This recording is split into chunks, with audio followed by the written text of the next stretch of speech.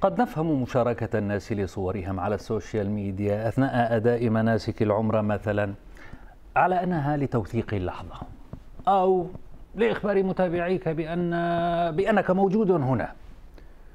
لكن يقول البعض من جهة أخرى هذا مكان عبادة وليس لل show off روجينا ممثلة مصرية يعرفها الجمهور بدورها الرئيسي في مسلسل البرنس. وآخر أعمالها لهذا الموسم انحراف. يتابعها الملايين على ال social media. روجينا تدلل متابعيها. لا تبخل عليهم بأخبارها. لا تحرمهم من مشاهدتها اينما كانت حتى أثناء أدائها مناسك العمره فالموبايل لا يفارق يدها صورت ما يجري داخل الحرم فأنت تعلم أن هذا حساب روجينا. باستخدام الكاميرا للهاتف الثاني صورت وجه البوستر لعملها الجديد. وتظهر صورتها وفي الخلفية الكعبة والناس تطوف حولها. ثم ظهرت بصورتها أمام الكعبة باسمة وبيدها ذات الموبايل.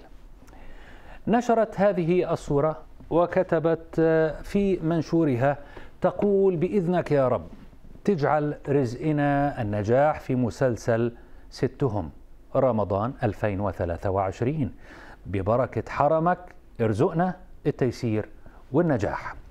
استاء بعض المتابعين من هذه القصة أو هذه التصويرات لروجينا وكتبوا في التعليقات.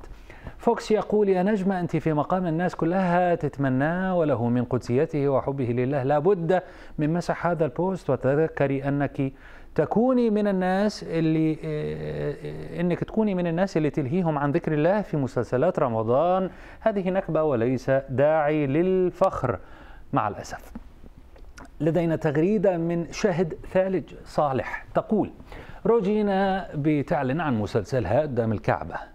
فين احترام قدسية المكان؟ ناقصها ريد كاربت وبوسي شلبي أستغفر الله. انشراح تقول رحت الحرم المقدس بآخر شعبان قسما بالله. شيء بغص؟ أنا كمعتمرة كنت أحط إيدي فوق وجهي عشان ما أطلع ب live أحدهم. بدل ما أركز بعمرتي أركز إني أبعد عن الموبايلات. وعدا عن ال photo session أمام الكعبة. يابا الصورة للذكرى بعد ما تخلص عمرتك. ما في مشكلة. بس أثناء العمرة حرام.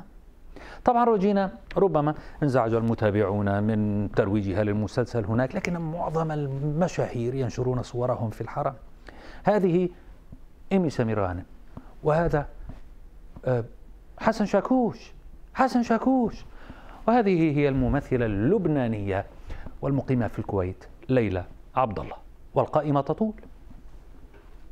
شكرا لمشاهدتك تريندينج سنسعد باشتراكك بالقناة وإعجابك بالقصة. ومشاركتها وتعليقك عليها.